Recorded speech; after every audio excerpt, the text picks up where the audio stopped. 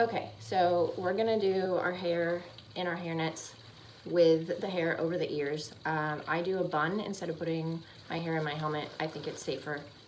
I know it's traditional to go in the helmet, so regardless of how you do that, I'm gonna show you how to do the ponytail. So we wanna make, pull our hair like we're a young lad in colonial times. So make a really low ponytail covering your ears, and then if you're gonna go in your helmet, you just put the ponytail. I'm doing a bun, so I make my little bunny bun here.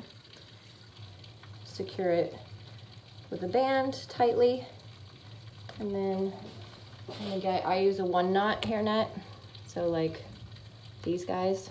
I put the knot at the back. I go low on my forehead here, kind of down to my eyebrows. I go, so for me, I go down and around my bun, and then I make a little loop like this and go back around it. I tuck everything in, and then pull your hairnet up to a comfortable place. I, since I'm very vain, go up right on the hairline, so when I take my hairnet off, there's not a line there. There we go, over the ears, and then I kind of shimmy some more hair down. Again, we want to look a little bit like a lunch lady. Chris is probably going to walk in the tack room at any minute, wonder what I'm doing. Schooling at home, I take another hair tie and go around. If I'm at a show, I just make sure that my hair tie matches. So there we go. A little bit of a babushka, colonial boy, and also lunch lady. And then all you gotta do,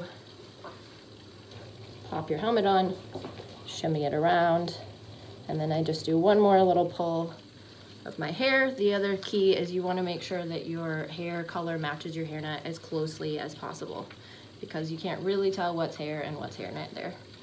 Ta-da!